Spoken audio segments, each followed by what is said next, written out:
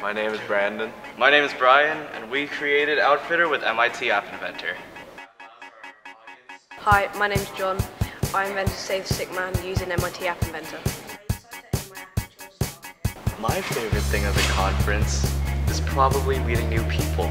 They are really, really kind, and they helped us a lot. And they taught us a lot of new things. Pretty fun once you get used to it, and then there's there's challenges that you may encounter, but then they shouldn't be a problem when you have like a mentor or a teacher. Basically, this app allows our audience to um, improve their fashion senses and I think my favourite part was getting on stage and presenting. I'd never done that like like I did today before.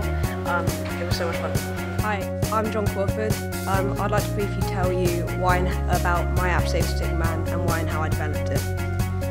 Um, I started developing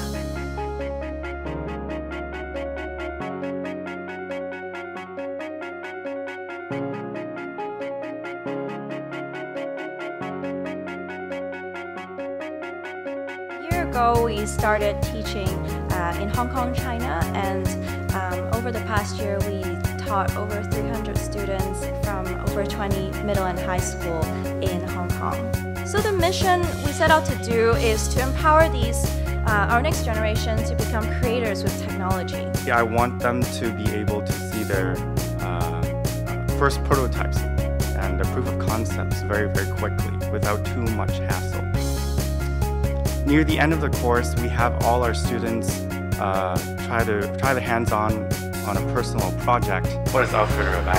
Um, Outfitter is uh, basically an app that you use to customize your appearance very quickly on your phone before entering your wardrobe, so you become fashionably early to occasions. The aim of, of it is to stop Stick Man getting hit by the arm. You do that by clicking on the left and right buttons. Um, and you can also select a difficulty there, which will um, decide on how fast the arm appears. So it makes it harder or easier.